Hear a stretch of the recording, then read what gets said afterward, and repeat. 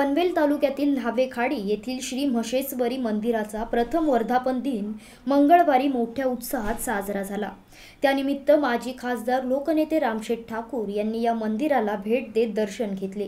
यावेळी ज्येष्ठ नेते वाय टी देशमुख गव्हाण ग्रामपंचायतीचे उपसरपंच विजय घरत अनंता ठाकूर वसंत शेठ पाटील सागर ठाकूर अरुण शेठ ठाकूर सुधीर ठाकूर राम मोकल नरेश मोकल शिरीष कडू दर्शन ठाकूर रमण ठाकूर मंदिर समितीचे अध्यक्ष चंद्रकांत ठाकूर उपाध्यक्ष मदन ठाकूर खजिनदार विजय ठाकूर सेक्रेटरी श्याम ठाकूर चिटणीस गजानन ठाकूर विजय ठाकूर शिवाजी ठाकूर सुजित ठाकूर शंकर ठाकूर यांच्यासह पदाधिकारी कार्यकर्ते आणि ग्रामस्थ उपस्थित होते.